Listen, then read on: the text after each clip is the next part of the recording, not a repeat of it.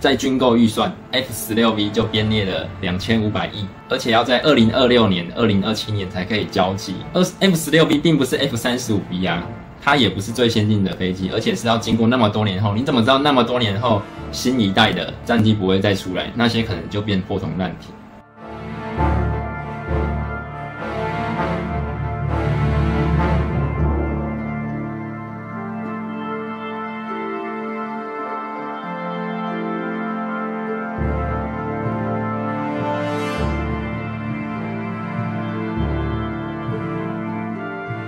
那现在你花了钱养网军，花了钱收购文旦，那收购香蕉，那这些收购以后你把它丢掉当肥料，为什么要浪费这些钱？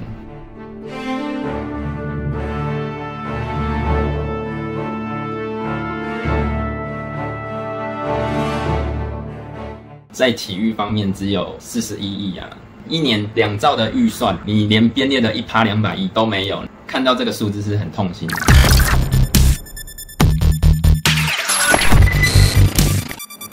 各位好朋友，大家好，我是清大博士生何坤轩。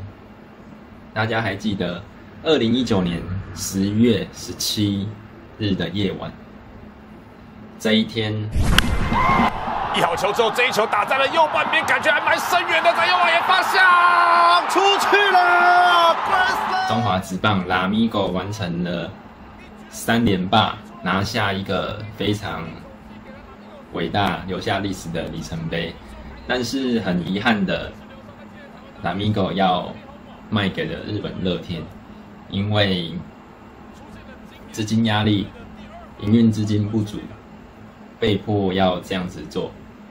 那看到总冠军赛第一局，刘思豪就敲出了满贯全垒打，再来林立的三分炮，看到我们。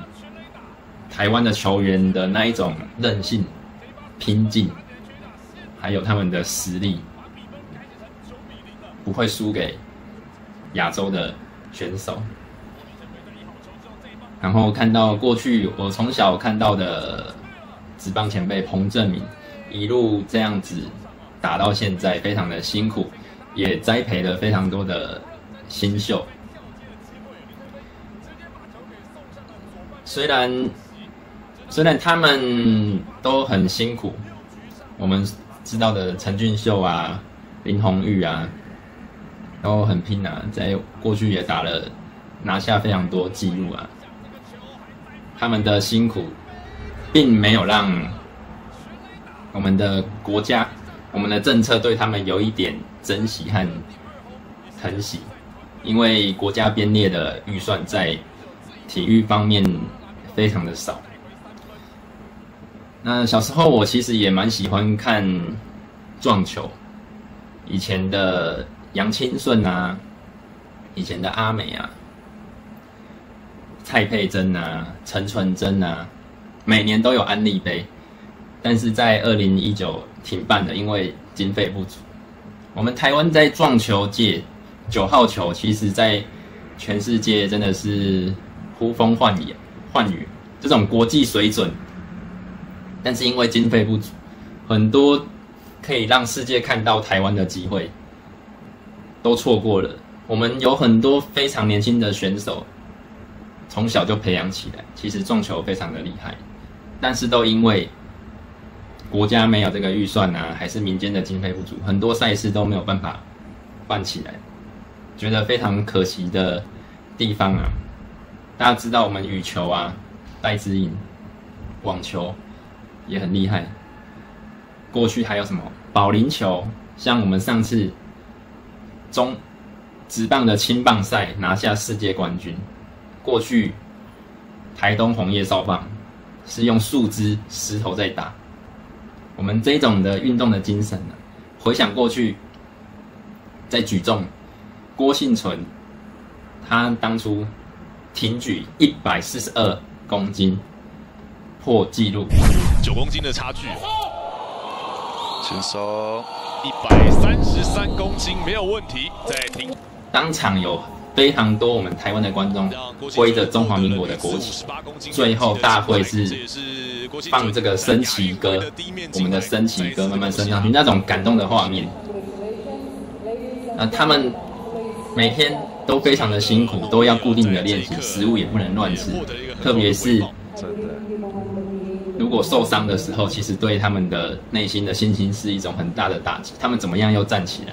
但是看到郭幸存又站起来为台湾争光，这个画面实在很感动。但是政府却一直没有看到这个，没有重视这个。通常只要有拿拿到牌子的话，就要去跟他们拍照。但是平常你对他们付出了什么都没有看到。我看到在明年的预算啊，在体育方面只有四十一亿啊。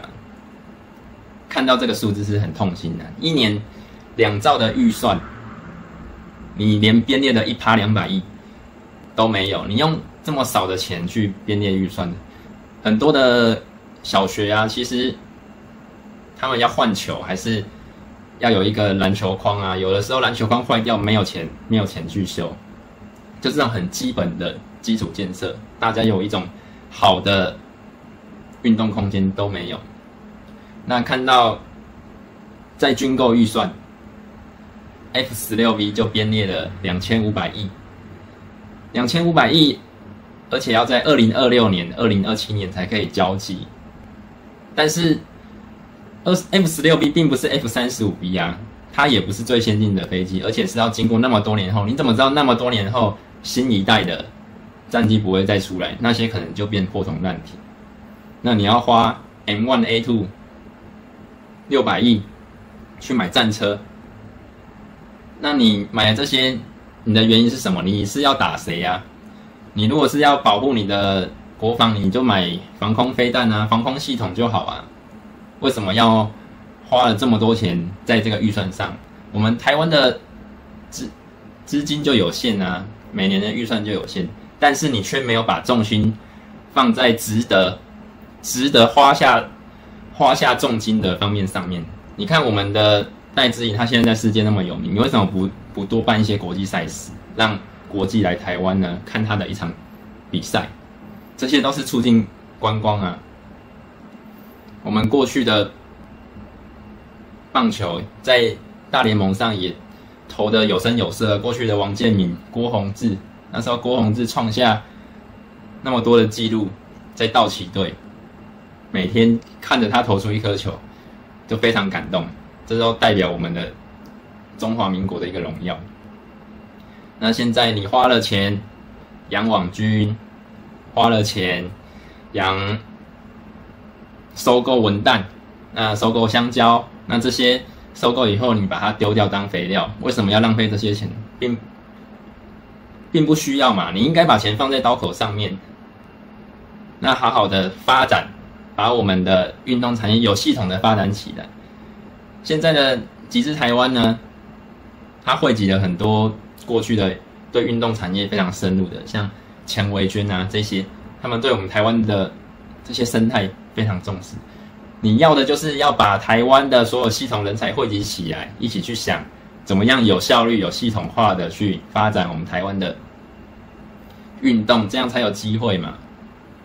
你没有办法帮台湾开创人流、开创金流，那你要把台湾带到哪里去呢？你不断的加收人民的税金，不断的想要去加强你的国防的预算，增加预算，都很不必要嘛。你就只是怕中国大陆会打我们，但是我们其实就是一样的血缘，我们的族谱就从那边来，我们常常也都去探亲。大家都是同一个血缘，为什么要互相的自相残杀呢？为什么不要让把我们台湾的人民带到一个比较安全的地方，有未来、有希望的地方呢？所以我觉得